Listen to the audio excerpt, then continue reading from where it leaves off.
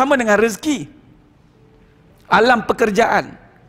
Alam pekerjaan bukan menyatakan kita yang hebat dapat cari duit tu. Nak menyatakan Allah SWT maha memberi rezeki. Nak menyatakan Allah SWT nak mengambil apa yang Allah punya hak Allah. Takkan kita nak lawan Allah. Rezeki itu sifat Allah. Razak. Bila kita dapat sesuatu hasilan daripada usaha kita, bukan menyatakan kita yang berusaha. Penuh pun, tak. Memang ikhtiar tu Allah campakkan pada kita sedikit. Sedikit dah. Sebagai asbab menyatakan kita manusia. Saya dah sentuh dalam bab ni. Usaha itu hanya menyatakan sebagai kita manusia. Bukan nak menunjukkan kita berkuasa. Saya usaha ni Ustaz. Kalau tak usaha tak datang rezeki. Oi. Oi, hebatnya usaha. Ada kuasa ke usaha tu? Ha, ha, ha ada. Bila masa buat transfer share. Bila transfer share dapat uh, ada kuasa usaha tu? Mana ada tuan-tuan? Bukti apa bukti? La haula wa la quwata illa billahil aliyil azim. Nah, nas tu. Hadis sahih. Tiada daya, tiada upaya. Tak, tak. Tapi bila ada kuasa? Usaha tu sebab tak ada daya dah tu. Bukan sebab kita ada kuasa. Sebab tu ketika kita alam pekerjaan itu menyatakan Allah maha bagi rezeki. Bila menyatakan Allah, maka kita nyatakan kembali dengan syariatnya. Solat. Awal waktu. Sebab itu dalam konteks saya baru-baru ni ada pergi Yalah ada satu perjumpaan perbincangan dengan korporat sikit. Dia menyatakan permasalahan attitude masalah perangai orang kita orang Islam ni. Orang Melayu Islam. Tak boleh challenge lah dengan orang bangsa lain. Kita ni masalah betul lah kita ni. Cerita lah pumpang-pumpang-pumpang cerita. Saya nak tengok apa punca masalah. Tak ada pula dia menyatakan sebab dia melewatkan solat tu masalah besar. Selagi kita tak nampak melewatkan solat tu masalah besar. Selagi itulah Allah besarkan masalah kita. Tak selesai masalah. Hebat macam mana pun tuan-tuan. Sayyidina Utsman bin Affan radhiyallahu anhu, Khattab radhiyallahu an. Abdul Rahman bin Auf radhiyallahu an. First line up, first line up ni tuan-tuan. Orang yang paling sibuk kalau dekat zaman kita sekarang. Jaga aset bukannya ratus-ratus juta, triliun. Nabi SAW yang belakang Nabi SAW itu semua orang-orang hebat. Dan Nabi SAW sebagai imam. Imam ialah panglima perang. Ialah presiden. Dialah semua. Kita tak anggap bila rezeki tu kita nampak. Ya, sijil. Usaha. Ah, ya. Ah, nampak benda, benda, benda, benda, benda. Allah mana? Sahabat lain. Nabi SAW menyatakan Allah. Makin taat, makin kuat rezeki datang. Makin taat, makin tunduk, makin mudah Allah buka rezeki datang dengan ketaatan. Nampak? Hidup menyatakan kebesaran Allah SWT.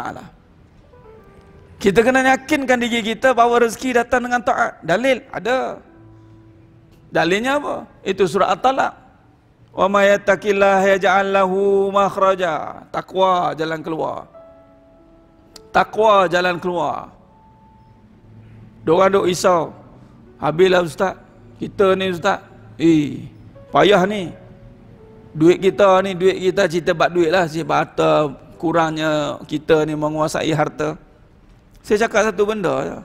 Orang boleh kuasai harta, curilah duit harta apa apa kau curilah. Tapi orang tak boleh kuasai rezeki.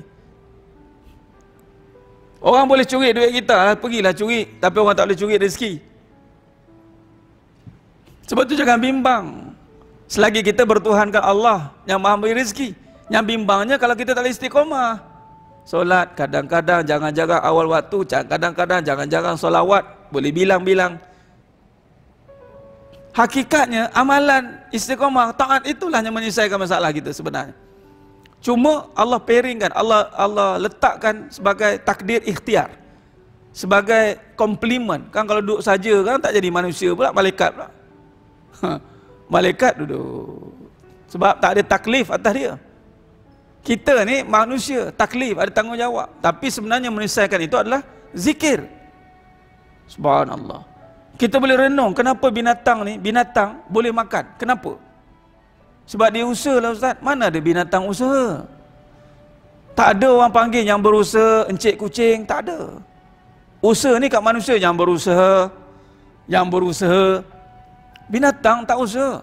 Binatang ni taat. Binatang taat.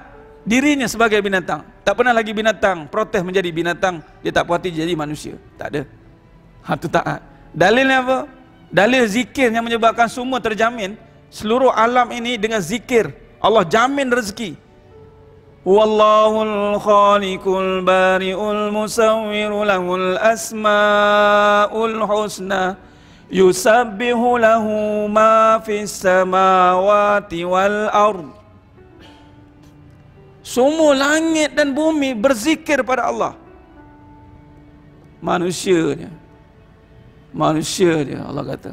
Qalilam ma tashkurun. Sebab tu manusia ni disusahkan. Bukan sebab susah tu. Tapi kerana lalai daripada Allah SWT. Binatang tuan-tuan. Nabi SAW Mahfum Hadir menyatakan. Sekiranya kalau kita bertawakal seperti burung. Allah akan cukupkan rezeki. Kalau kita renung burung. Eh, tak boleh masuk akal kita. Memang burung, di mana rezekinya tuan-tuan? Dia terbang, rezekinya di darat. Cicak tuan-tuan. Dia berada di dinding, tapi makanannya berkepak. Helang tuan-tuan, makanannya di laut. Bertentangan. Bertentangan itu. Tapi kenapa kita tidak dengar burung bergelemparan, mati kelaparan? Kerana apa? Tak jumpa apa yang ada dimakan. Kerana apa? Sepatutnya burung ini bukan terbang tapi kena berjalan di atas muka bumi kata. Barulah dapat rezeki. Tak ada Allah kalau nak tunjuk kuasa, memang sungguh-sungguh Allah tunjuk. Terbang di langit tetapi makanannya di bumi. Tak ada lagi burung makan burung tuan-tuan. Geram tu tak dapat makan, aku makan kau kata. Tak ada. Tak ada lagi kerja macam tu. Malah burung makan cacing tuan-tuan. Cacing dalam tanah. Tanya bila dia nak tengok cacing tu. Tak nampak. Tapi macam mana boleh survive, boleh hidup mereka sebab menyatakan kebesaran Allah.